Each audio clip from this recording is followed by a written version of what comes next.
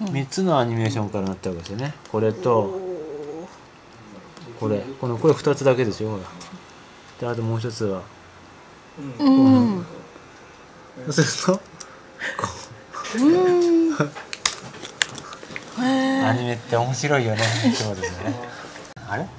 バーン。おお光った。うん本当だ。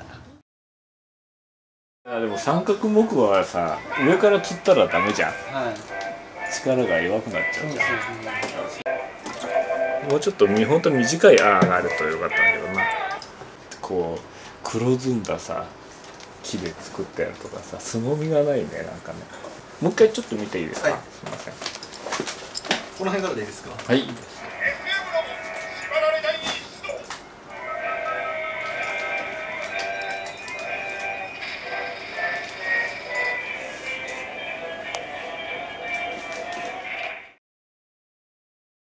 乳首にこれがはめられてそれが引っ張られてる。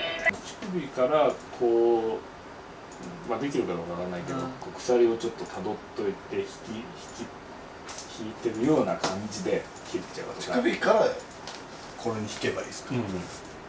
そんなことってできます？できるかな。鎖がまあフラフラしてるじゃん、あーって動く時はピンと引い。て止まる三角木。えなんなんですか？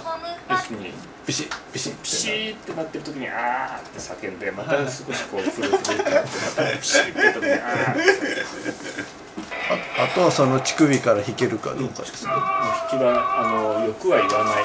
三角。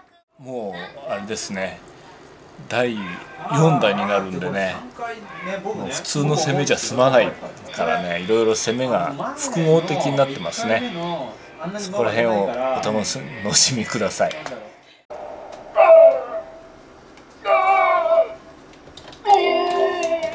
三角木馬。